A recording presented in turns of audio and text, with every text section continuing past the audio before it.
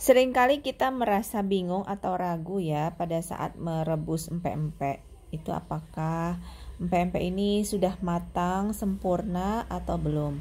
Nah, ini berikut aku mau coba share ya tips dari nenek aku karena dari turun temurun itu memang uh, tips ini cukup ampuh ya teman-teman. Nah, jadi pada saat kita merebus ya baik itu pempek lenjer atau kapal selam ya pokoknya yang kita rebus ya.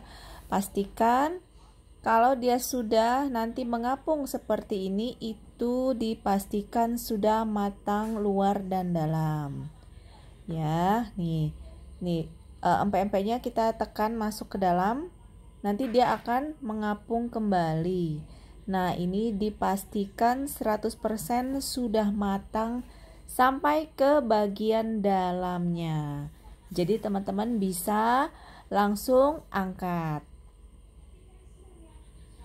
Nih aku aduk-aduk sebentar ya. Nah, kalau dia udah bolak-balik kita masukkan ke dalam, kita tenggelamkan. Tapi dia langsung mengapung kembali, berarti itu sudah uh, dipastikan dia sudah matang 100%. Nah, ini kebetulan semuanya aku lagi bikin empek-empek lenjer semua ya.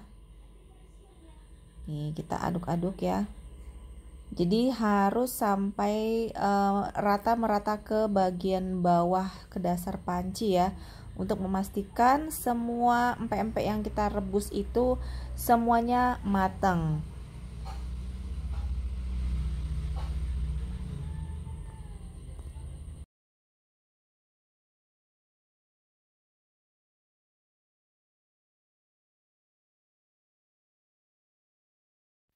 Nah, teman-teman bisa lihat kan, ini beberapa empek-empek sudah aku tenggelamkan dan mereka akhirnya timbul lagi itu.